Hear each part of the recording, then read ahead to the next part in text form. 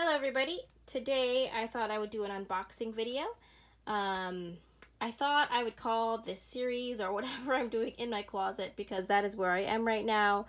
It's the quietest place in my house with my four kids who are watching a movie right now. Um, so a few days ago I ordered four Tapas Yum boxes from Amazon of course.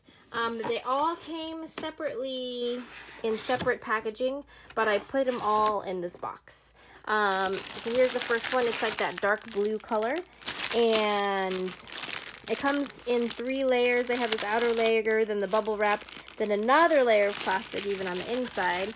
So let me All right. So here is this one. It also comes with a little piece of paper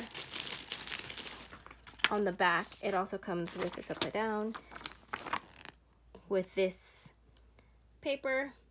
So I went with the bigger size versus the original um, because I thought the original would be a little bit small. Uh, my kids are not getting any smaller they're just growing and eating more and I didn't want to buy that one and then have to upgrade to the bigger size.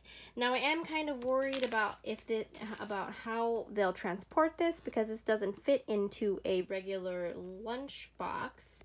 As I can show you real quick because I brought our I brought the Pottery Barn lunchbox. It doesn't fit into a regular lunchbox. So I either have to buy the one that Yumbox provides or just say that, hey, this is sturdy enough. I don't need something to put it in. Um, but I'm afraid if it's out loose like this, it'll it's more likely to break.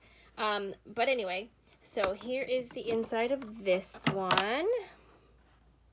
What I like about the Tapas in particular is that they have the interchangeable trays. So I can buy the other kind of tray with the extra compartment and it will still be um, liquid leak proof. Um, so this, I think, just pops out like this. And there you go.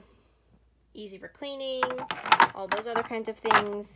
Like, here's the size of my hand. So it is pretty big. You couldn't fit you couldn't fit like a whole sandwich in this just part like this, but you could fit a half. And what I normally do is I do fruits, veggies, and then some sort of chip kind of thing, and then their main dish. And this can be for like a treat or like um, ranch or whatever, something like that to go in there. Uh, so that's this one. Then I'll show you the other colors in here. This is the green one. Oh, here's what the bottom looks like in case you're interested. It's got these little things on the bottom. Okay, so here's the green one. Now the funny thing about the green was it, it's got a green insert tray in there, which is cute. Um, but all the other ones are blue. So there's this one. But let me know in the comments um, how, if you have these, and how what you put them in. If you bought the lunchbox thing, lunch yum box lunchbox, that's a mouthful to say. To put them in, this is not coming out. Hang on, sorry. So this one would be for my daughter. And here's the inside of this one. See, this one's blue on the inside. Um, yeah, so I'll probably go back to Yumbox because you can't get them on Amazon and order the other compartment one, the one that has one, two, and then three right here. So that big big size would hold a sandwich. It's basically the same thing except it doesn't have this on, on there.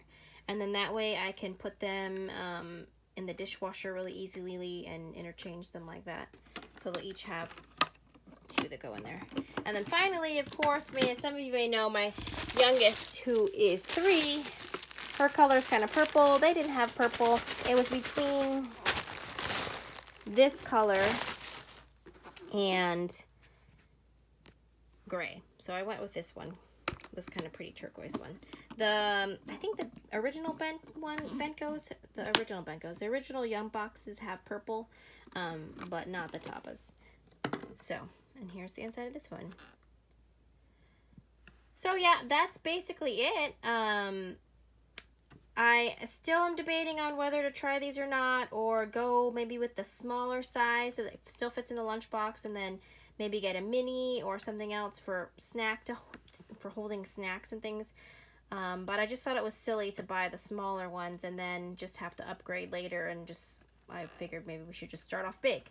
But if you have any suggestions or ideas, leave them in the comments below for me. I will talk to you later. Bye.